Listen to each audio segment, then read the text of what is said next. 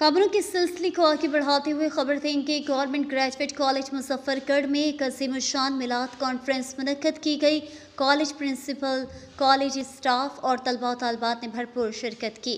मजीद report कर रहे हैं Malik Kaleem Awan government graduate college Muzaffargarh के हॉकी ग्राउंड में एक अजीम शान मिलाद कॉन्फ्रेंस मुनद की गई, जिसकी सदारत कॉलेज के प्रिंसिपल रफ़ीक अहमद साहब ने की। तकरीब का आगाज़ तिलावत कुरान पाक से किया गया। इस पाकिज़ा महफिल में कॉलेज के तमाम प्रोफेसरों और तलबा तलबात ने भरपूर शिरकत की।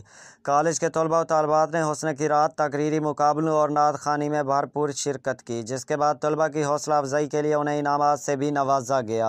मेहमान खसूसी हज़रत मौलाना मोहम्मद मदनी साहब थे, जिन्होंने हजूर पाक सल्लल्लाहु अलैहि वसल्लम की शान बयान करते हुए फरमाया कि हम अपने आखिरी रसूल के उमती हैं और हमें अपने प्यारे पैगंबर के बताए हुए तरीक़ों पर अमल करना होगा। स्टेज सेक्रेटरी के फ़रैज़ प्रोफेसर ज़ुबैर हफीज़ जबकि डिसिप्लिन की ज़िम्मेदारी प्रोफेसर उमर गनी और प्रोफेसर खालिद महमूद दाह साहब ने सर अंजाम दी। आखिर में प्रिंसिपल रफ़ीक अहमद साहब ने खिताब करते हुए कहा कि यह महफिल हमारी बख्शिश का ज़रिया भी बन सकती है। दिल में इश्क रसूल होना एक सच्चे उम्मती की निशानी है।